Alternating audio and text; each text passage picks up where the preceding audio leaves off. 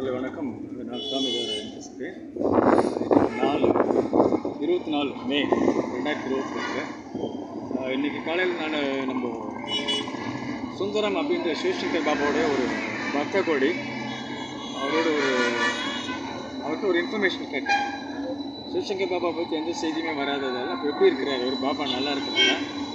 எங்கே இருக்கிறாரு?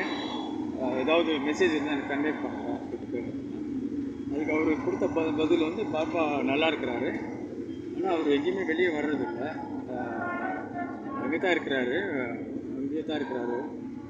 மெட்ராஸில் தான் இருக்கிறாரு. ஆனால் அவர் எங்கேயும் வரதில்லை. கோயிலுக்கெலாம் கூட அவர் எங்கேயும் போகிற மாதிரி தெரியுது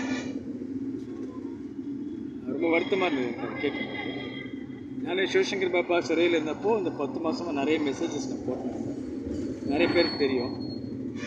இன்னும் நான் ரொம்ப ஆவலாக எதிர்பார்த்து சிவசங்கர் பாப்பா வெளியே வந்தோடனே ஒரு பப்ளிக் பேட்டி ஒன்று கொடுப்பார்னு எதிர்பார்க்கணும் அவர் மேலே சுமத்தப்பட்ட குற்றங்களுக்கெல்லாம் அவர் பதில் சொல்லுவார் பப்ளிக் பொதுமக்களுக்கு.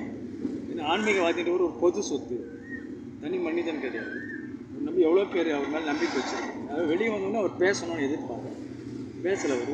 ஒரு அப்புறம் ஒரு மாதம் ஆகிப்போச்சு இன்னும் அவர் ஒன்றுமே பேசலை. அதனால தான் இந்த பதிவு. வெளியே வந்தோடனே ட்ரஸ்டீஸை வந்து கண்டித்து எதனா பேட்டி கொடுப்பாருன்னு நினச்சேன். ஏன்னா அவங்க ரொம்ப கேர்லெஸ்ஸாக டீல் பண்ணி ரொம்ப நாள் அவரை சிறையில் வச்சுட்டாங்க. அந்த ட்ரஸ்ட் எல்லாம் மாற்றி அமைப்பாருலாம் எதிர்பார்த்தேன் எனக்கு கூட முக்கியமான பொறுப்பு எதனா கொடுப்பாருன்னு எதிர்பார்த்தேன் பட் என்னை பற்றி எனக்கு கவலை இல்லை. ஏன்னா ஒரு பாபா வந்து சிவசங்கர் பாபா வந்து அவர் மேலே இவ்வளோ பெரிய அவதூறு பறக்கிறப்போ வெளியே வந்து அதுக்கான ஒரு ஜவாப் சொல்லி ஆகணும் இல்லையா?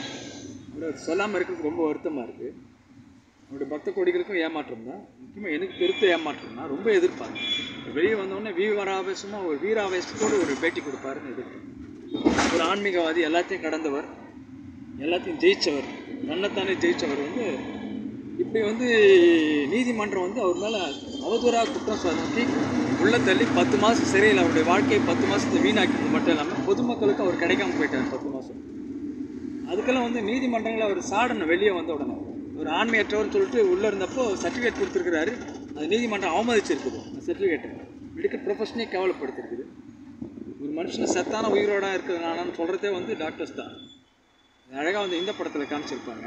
இந்த சிவாஜி த பாஸ் படத்தில். இந்த டாக்டர் கிட்ட ஒரே ஒரு இதுதான் கேட்பான் ரஜினிகாந்த் இந்த மாதிரி எனக்கு நீங்கள் ஒரே ஒரு உதவி செய்யணும் டாக்டர் எனக்கு ஒரு ஒரு பாடி வேணும்னு கேட்பேன் அதுதான் அந்த படத்தோட கருவை.